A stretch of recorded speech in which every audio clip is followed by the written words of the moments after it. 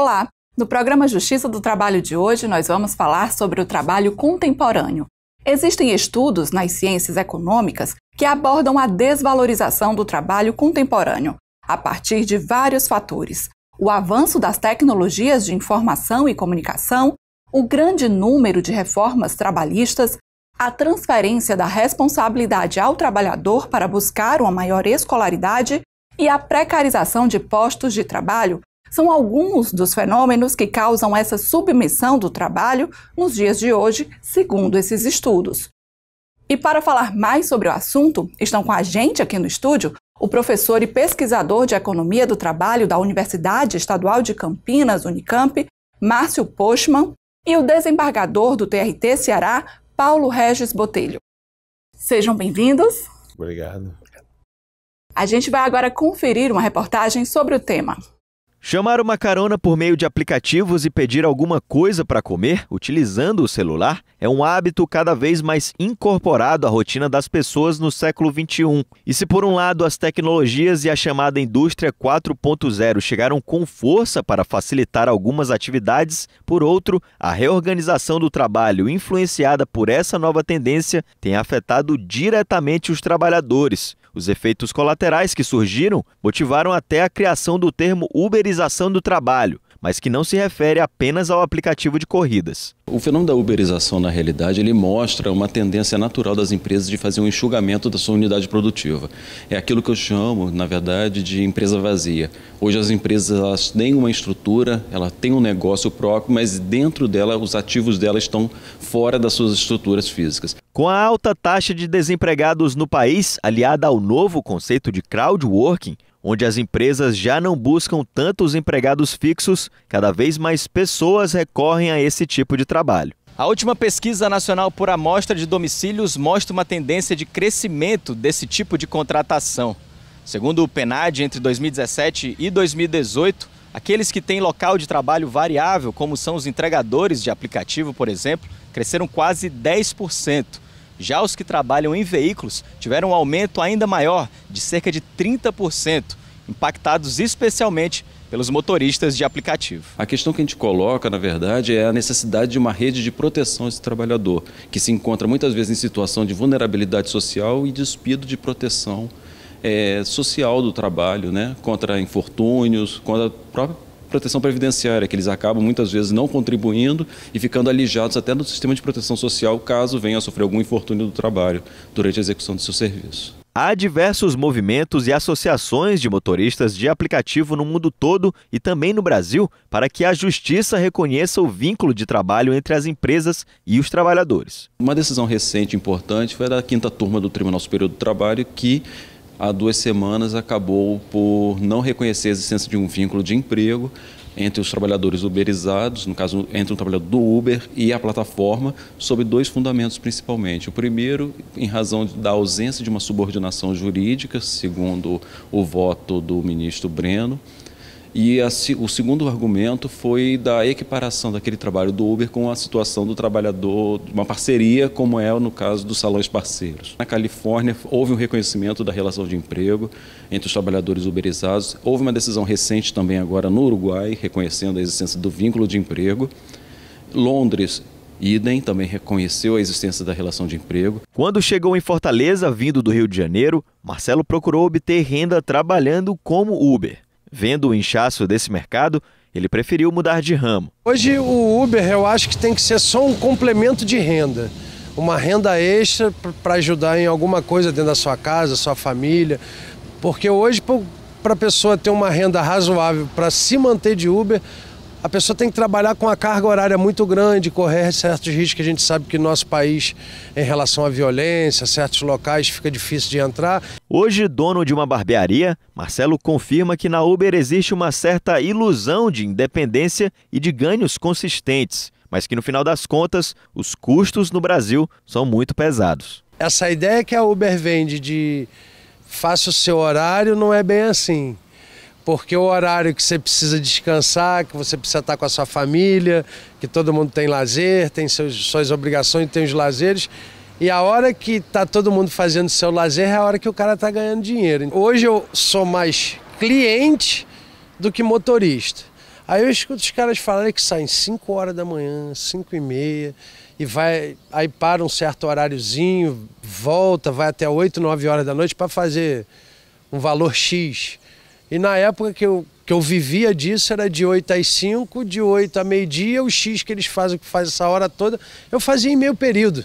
Para o juiz do trabalho, o momento ruim da economia e a dificuldade de gerar novas vagas de emprego não justificam as concessões e a flexibilização de direitos garantidos por lei. A gente não pode justificar a precarização do trabalho em razão da necessidade do emprego. Senão você vai acabar justificando o trabalho infantil. Se você levar esse raciocínio aos extremos, você vai dizer ele tem que trabalhar porque ele tem que sustentar. É melhor ele trabalhar do que ficar na rua. Então, esse tipo de raciocínio é, de certa forma, perigoso e não impede o reconhecimento do vínculo, que a partir do momento que você tem um sistema de proteção social àquele trabalhador, você tem que ser assegurado aquilo como direito mínimo daquele trabalhador. Professor Márcio, é, o senhor defende que as relações de trabalho hoje é, estão sendo retirados o sentido ou estão sendo desvalorizadas. Que sentido real do trabalho é esse? O trabalho nesse início do século XXI é, segue sendo central na vida das pessoas. Né? É inimaginável acreditarmos que o futuro possa ser construído sem a presença do trabalho.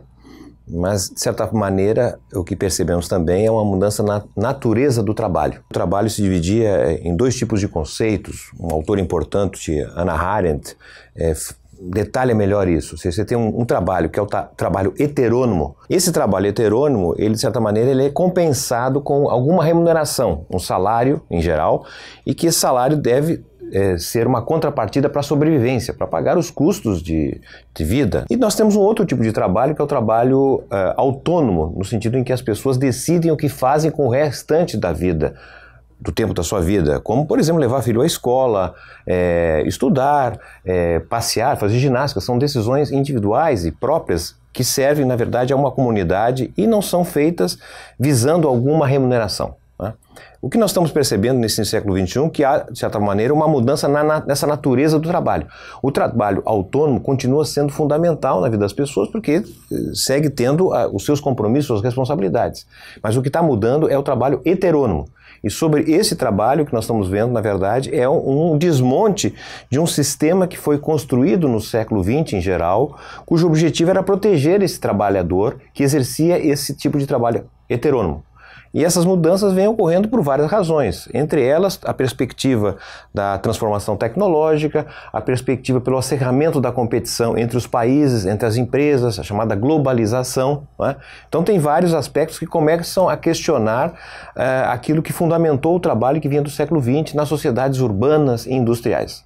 O senhor afirma que o sentido de pertencimento está relacionado a um trabalho material. Mas o que, que seria esse trabalho material, trabalho material? Esse é um outro conceito importante, o trabalho material e o trabalho imaterial. O trabalho material é aquele cujo o resultado do esforço físico e mental produz algo concreto, palpável, tangível, identificável.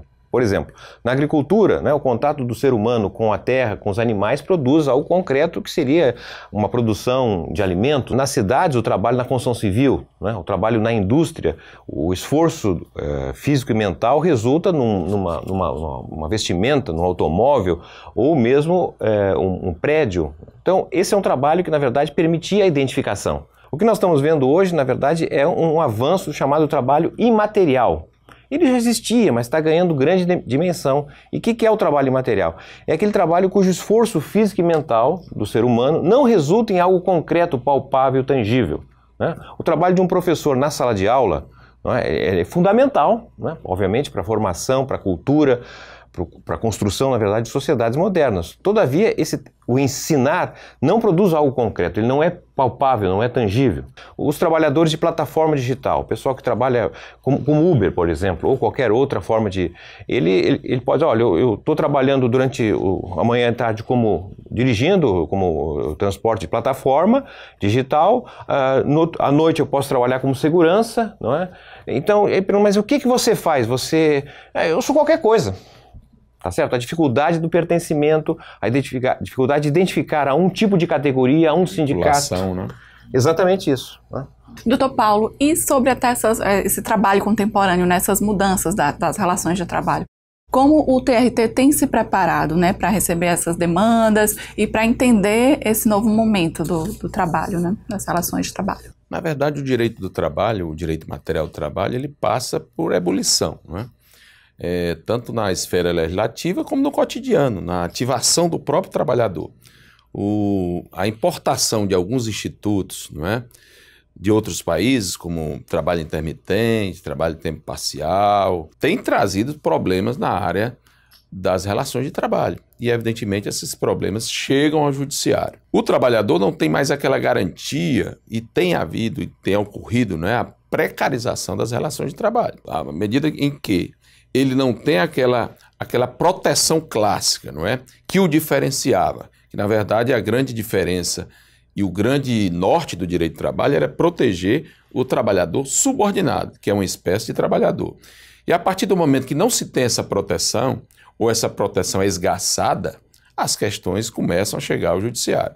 É a questão do Uber, não é, que tem surgido, é a questão do, dos trabalhadores que realizam entrega. São questões em que se discute a existência ou não do vínculo de emprego. Então essas questões estão sendo debatidas. O judiciário está chegando ontem, foi a primeira decisão do Tribunal Superior do Trabalho, essa questão relacionada aos trabalhadores de plataforma, né, em decorrência desse avanço tecnológico, né, do uso da parafernália eletrônica no ambiente de trabalho. Então, essa questão está sendo debatida e acredito, a partir do momento que estiver ocorrer uma maturação, terá um norte mais, mais seguro para orientar tanto trabalhadores como empregadores. Bom, a gente vai fazer uma pausa e volta em instantes com o programa Justiça do Trabalho.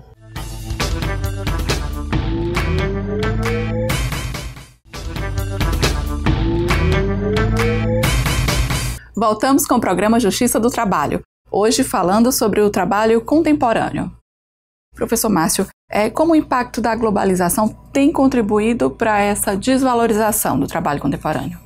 Bom, de maneira geral, quando nós analisamos a, a, as regras que são estabelecidas em cada país, é? visando determinar é, a relação entre trabalho e empregador, trabalho e capital, se quiser uma, uma, uma, forma mais abrangente, a temporalidade dessas regras foram estabelecidas basicamente entre o final da Primeira Grande Guerra Mundial, em 1918, é? e é, o, final, o, o, final da década de 1980, com a Guerra do Irã-Iraque. Estou dando dois aqui parâmetros que não são certamente tão precisos, mas foi esse período que é um período que nós tivemos um interregno de uma primeira globalização, de uma primeira onda de globalização que ocorreu no século XIX. A Primeira Grande Guerra Mundial, de certa maneira, os países que existiam, e eram poucos, porque naquela época existiam impérios, império britânico, império austro-húngaro, até mesmo o império portuguesa, esse período de impérios, na verdade, praticamente impossibilitava a existência de regras nacionais. Então, entre a Primeira Grande Guerra Mundial e até a década de 70, nós tivemos uma série de regramentos que cada país foi estabelecendo. Surge a, a, a ONU, Organização das Nações Unidas, que estabelece então a liberalização de muitos países, o fim do, do período colonial, enfim, muitas coisas aqui, mas o importante é dizer que desse período nós tivemos um interregno da globalização e, na verdade, os países passaram a ter muitas ações e capacidade de determinar regras nacionais. A partir dos anos 80 surge um, um, fenômeno chamado globalização, que podemos dizer como uma segunda globalização, porque tivemos uma primeira no século XIX. A partir dos anos 80, com a globalização no mundo, comandada por grandes corporações transnacionais, cerca de 500 corporações dominam hoje o sistema de produção e distribuição no mundo. Essas grandes corporações passaram a pressionar os governos nacionais para submeterem a regras que flexibilizassem o uso da mão de obra usando inclusive o argumento se aqui nesse país não, as regras não forem mais fáceis para contratar e demitir, se não reduzir o custo do trabalho, nós vamos para outro país essa reforma que ocorreu agora em 2017, que me parece mais uma deforma, porque reforma a gente sempre pensa melhorar a casa, não é? Fazer uma construção, um puxadinho, pintar a casa, e ao que parece, pelo menos para mim, em 2017, o que ocorreu, foi aprovado pelo Congresso, é, de certa maneira, uma destruição, não melhora o sistema. Bom, mas foi aprovado, e qual o argumento? O argumento é o seguinte, se reduzir o custo de contratação, se facilitar a, as empresas contratarem trabalhadores, haverá investimento vindo do exterior e o emprego vai crescer. Não é o fato de reduzir o custo de contratação que leva as empresas a contratarem. As empresas contratam mais trabalhadores se tiver demanda para a sua produção. Né? Na construção civil, nenhuma empresa vai contratar mais trabalhador porque caiu o custo do trabalhador. Ela vai contratar se tiver quem queira comprar casas, obras públicas, então aí ele contrata. Doutor Paulo, até com essa reforma de 2017 e outras reformas, como o doutor Márcio até já pontuou, o professor Márcio pontuou, isso realmente é, acarretou um, um, aumento no número de empregos ou cumpriu-se realmente a, a, a, proposta do que era a reforma ou que reflexo ela já teve, por exemplo, na Justiça do Trabalho, né?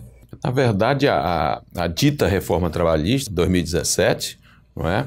que para muitos é uma deforma trabalhista, porque de certa forma precarizou os direitos dos trabalhadores, essa reforma está em curso, é? com a Lei da Liberdade Econômica, aprovada pelo Congresso, pela medida provisória do contrato verde e amarelo, cujo a, essência dos que defendem é, a reforma, defendem a modernização é, da legislação trabalhista, é oportunizar o maior número de empregos formais. O que tem impactado o judiciário em relação à reforma, houve uma diminuição, principalmente pela questão alusiva à gratuidade judiciária. O acesso do trabalhador à justiça, é? Que agora, caso vencido, ele teria que pagar custos, honorários advocatícios. Então, de certa forma, isso impactou o judiciário com diminuição do número de ações propostas. Mas acredito essa questão está posta no Supremo Tribunal Federal. É, exigem dois votos, um do ministro Faquim e outro voto do ministro Barroso. Tá um a um, ah, o julgamento está suspenso. E isto é que vai definir, porque evidentemente causa temor ao trabalhador é a possibilidade dele ingressar em juízo e futuramente ter apenado materialmente, ter que pagar custas e honorários advocatícios. A reforma tem quebrado pontos essenciais do direito do trabalho. Né? O direito do trabalho se destacou do direito civil porque tinha como centralidade o ser humano, o ser humano trabalhador, aquele que presta de proteção na sua relação jurídica com o contratante. Então, à medida que você quebra esse paradigma, você fragiliza todo o sistema jurídico e todo o sistema de garantias do trabalhador. Então, estamos passando por esse momento, não, é? não sei onde é que vamos chegar, não é? porque isso, de certa forma, tem contribuído para o aumento da desigualdade no nosso país. É? Aquele trabalhador que tinha uma renda X passa com essas reformas a ter uma renda menos X, então, evidentemente, esse trabalhador vai consumir menos né, o produto da indústria, o produto do comércio. Evidentemente, o professor Márcio ele tem trabalhado com pesquisa na Unicamp, nessa seara, e eu acho que, que é de fácil constatação. Até aproveitando o que o doutor Paulo pontuou, professor Márcio, então, que dados a gente tem hoje para analisar realmente de fato que, por exemplo, essa reforma é, é, na verdade uma deforma, né? E analisar realmente também de, de que forma essa evolução tecnológica tem impactado nas relações de trabalho, com o surgimento aí de plataformas de trabalho, a gente citou aqui Uber, como tantas outras, mas é, o que que tem impactado, né? Que dados a gente tem que comprovar que isso realmente é, provocou essa desvalorização do trabalho contemporâneo, porque tem gente que acredita que são oportunidades de trabalho para quem está parado, mas outros realmente entendem como uma desvalorização né, do, do trabalho. Bem, nós estamos em 2020. Né? A, a, economia brasileira, a capacidade de produção, a produção, o nível de produção hoje, não é, segue sendo inferior ao de ano 2014. Né? Nós nunca tínhamos vivido uma experiência em que o país permanecesse cinco para o sexto ano, não é, sem ter conseguido aumentar o seu ritmo de produção.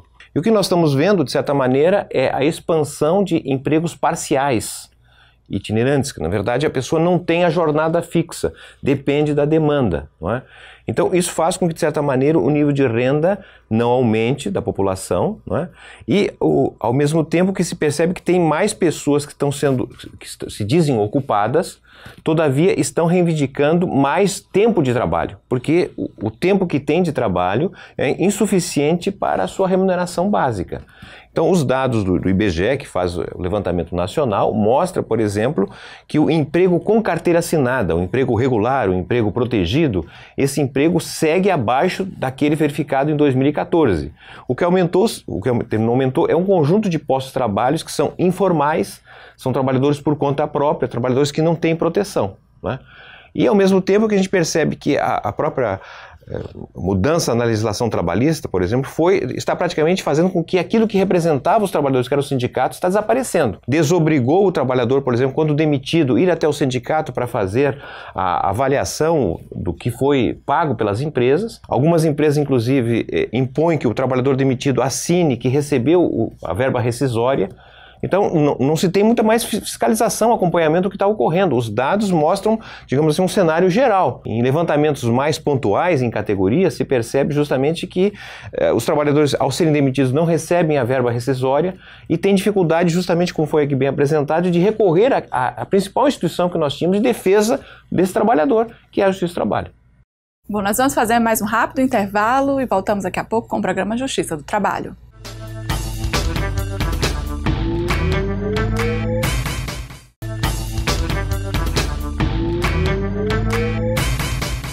Estamos de volta com o programa Justiça do Trabalho, hoje falando sobre o trabalho contemporâneo. Professor Márcio, com a, o avanço da tecnologia, a robotização em alguns segmentos né, do, do, mercado de trabalho, os trabalhadores eles têm que temer o, o, o, posto de trabalho, eles realmente estão perdendo o emprego por conta das máquinas? Até que ponto está existindo a desvalorização do trabalho diante desse cenário?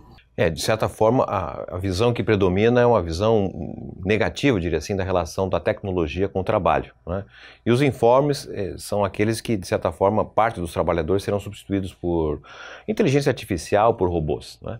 Todavia, quando nós vamos analisar os dados, e tomarmos com referência países em que há maior avanço tecnológico, maior presença de robôs, maior presença da inteligência artificial, como é o caso dos Estados Unidos, da Alemanha, Coreia do Sul, China, entre outros, o que nós verificamos lá é que não há desemprego. Não há desemprego estrutural. Países com desemprego, como é o caso do Brasil, são justamente países que não conseguem investir tecnologicamente, não conseguem fazer sua economia crescer. Dizer, o Brasil é um país em construção. Falta praticamente tudo no nosso país. Né? Nós temos ainda crianças fora de escola, né? temos problemas de hospitais, atendimento de saúde, parte da população não tem habitação. O crescimento econômico ele é uma variável que nós não poderíamos abandonar. Nós estamos há cinco anos sem crescimento. Sem crescimento não tem emprego. Se o Brasil tivesse crescendo 3, 4% ao ano, o nosso desemprego talvez seria aquele igual que era em 2014. Não é possível que os trabalhadores tenham jornadas tão elevadas como tem no Brasil. Se todos trabalhassem menos com um salário, renda adequada, era possível todos estarem trabalhando também. É possível pensar que o jovem entre mais tardiamente no mercado de trabalho, que ele estude mais para entrar mais preparado. O Brasil, nesse sentido, tem melhores condições que outros países para enfrentar o quadro atual. O problema é que nós estamos tomando medidas equivocadas, meu modo de ver, e ao invés de gerar emprego, termina fazendo com que vivemos um quadro não é, de desvalorização do trabalho, né, de depressão das pessoas que não têm um horizonte de vida. Jovens estudados saem do Brasil, fuga de cérebros no Brasil. Ou seja, o Brasil está tomando medidas erradas. Precisa rever isso, porque nós temos um caminho muito melhor. Qual seria o olhar, por exemplo, né, dos políticos, das autoridades ou das instituições sobre é, alternativas para desvalorizar menos o trabalho, então para realmente fazer com que o trabalho exerça realmente o, o, propósito dele, né, na vida das pessoas. Sim, mas veja, se a gente comparar no tempo, se a gente pegar o que era o Brasil em 1930 e o que passou o seu Brasil no ano 2000, não há dúvida que o Brasil melhorou muito, o que eram as condições de vida dos trabalhadores na sociedade agrária, o que passou a ser na sociedade urbana industrial. Só que nós estamos vivendo um, um quadro de regressão, nós precisamos reorientar o país. Não é? E reorientar significa o seguinte: primeiro, revitalizar a indústria brasileira. Se nós não retomarmos a indústria, como é que retomamos? Olha, nós temos vários complexos que deveriam ser industrializados. Por exemplo, o complexo do agronegócio, que é uma parte importante do Brasil. Todavia, os fertilizantes, os adubos, tá certo? A comercialização é feita tudo pelo capital estrangeiro. O setor de fármacos, por exemplo, o SUS, Sistema Único de Saúde, que é um grande comprador de remédios, eh, equipamentos clínicos, etc. Isso precisa ser produzido no Brasil. Né? O complexo petróleo e gás, ou seja, o Brasil é um país com grandes saídas, grandes oportunidades. Ocorre que, ao me parece, quem está dirigindo o Brasil não está vendo essas possibilidades e toma decisões equivocadas, e o resultado é isso que nós estamos vendo no Brasil. Diante desse cenário, doutor Paulo, de desvalorização do trabalho, né? De que forma o trabalhador hoje, quais são as alternativas deles também para pleitear seus direitos, para realmente voltar a ter um trabalho digno? A quem eles podem recorrer nesse sentido? Na verdade, o trabalho está sendo repaginado, né? É, em alguns países, a, legislação tem tentado alcançar essa espécie de trabalhador que não tem aquela proteção clássica das garantias do trabalho formal, do emprego formal. Existem aqueles trabalhadores que estão, como na Itália se diz, para subordinado. Ele está naquela divisa entre a autonomia e a subordinação. Então, esse, esses trabalhadores, eu penso que devem, é, a, a, os deputados, os senadores, tentar viabilizar a maneira de criar regras protetivas.